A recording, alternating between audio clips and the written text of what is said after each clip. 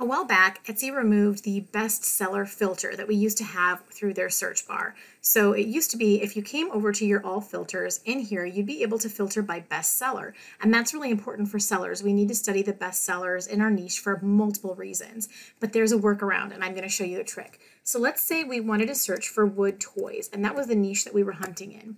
I would do a normal search, come to all filters, and in here, since there's no more bestseller choice, I can select star seller and click apply.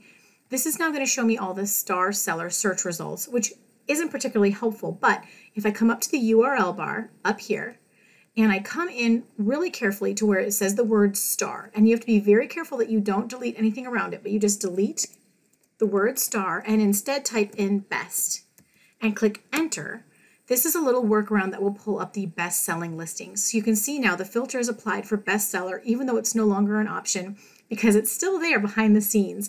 And now all of the options that come up, not including the ads, of course, are going to be bestsellers. Don't be fooled if it doesn't just have the bestseller listing badge right here. Um, when you click into these other listings, you will see in the upper left-hand corner the best-selling badge, the bestseller badge. And it does help when it, it shows it here on the main search results, but rest assured when you click in, you're going to be seeing the top performing listings in your niche. So I hope this helps. It's a really important workaround. I'm so glad we found it and happy researching.